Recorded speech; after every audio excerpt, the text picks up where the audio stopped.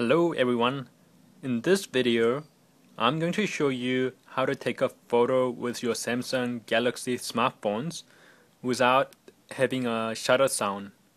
So normally, um, when you take a photo with your phone, you get this sound, shutter sound.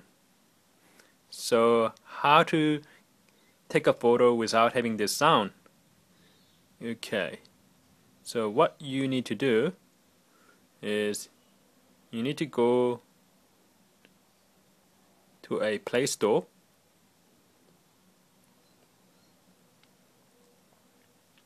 and find an app called Camera MX. So this is the one and I've already got it installed on my device. So if you haven't got one, just install it. And once you have this installed, and when you bring the app up, it looks, it looks something like this. And what you need to do is go to the setting,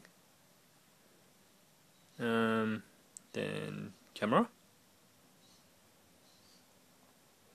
and there's an option to play shutter sound. So if, if you just unclick this option feature play shutter sound and go back to your camera.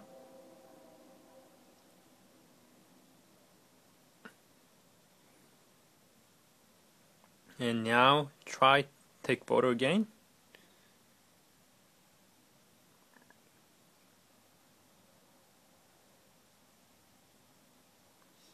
And there you go. I can take a photo without having a shutter sound. How easy was that? So this way you don't have to jailbreak your phone. Is a I think it's the simplest way to take photo without having the sh shutter sound.